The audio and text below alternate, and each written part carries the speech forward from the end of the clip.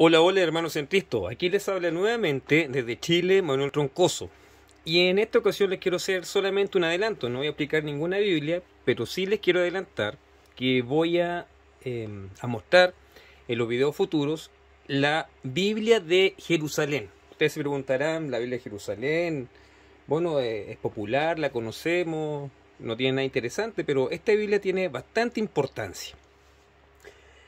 Eh, ¿Qué les quiero explicar? Que aquí les voy a mostrar todas las Biblias de Jerusalén que existen. Esta, por ejemplo, que tengo acá, que es versión de lujo, versión de lujo gigante, familiar, es de la primera edición de 1967, en donde muchas personas dicen que esta Biblia, según los el sector más conservador de la Iglesia, dice que esta Biblia está fuera de la influencia del Concilio Vaticano II y que no estaría influenciada por el modernismo. Esa es la opinión que tienen algunos. Pero esta es la primera edición de la Biblia que está en versión de lujo. O la pueden ver y que vamos a explicar en un futuro más. Eh, vamos a explicar en un futuro. También tengo la Biblia de 1975. Esta es más pequeña, si ustedes se fijan. Biblia de Jerusalén 1975.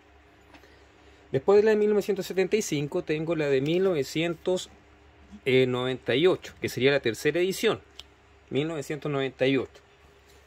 Después de la de 1998 está la cuarta edición que es la del año 2009, que es esta, que tengo en versión de lujo que está dentro de una cajita. ¿Se fijan? Es el año 2009. Después tenemos la quinta edición que es del año 2019, que es esta, que está acá, año 2019.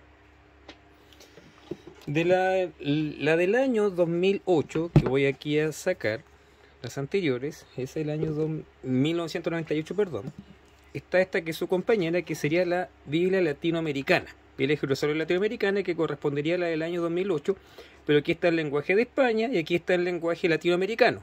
Esa es la diferencia que existe entre las dos.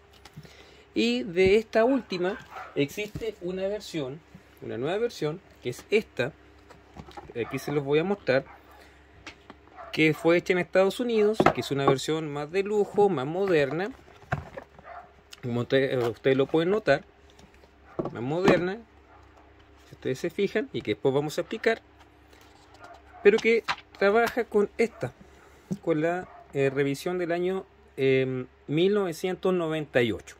Esta también la, utiliza la Biblia de Jerusalén latinoamericana. Entonces, espero que estén pendientes a las notificaciones para que yo les pueda explicar o podamos revisar en conjunto la Biblia de Jerusalén. Que estén muy bien y que Dios les bendiga.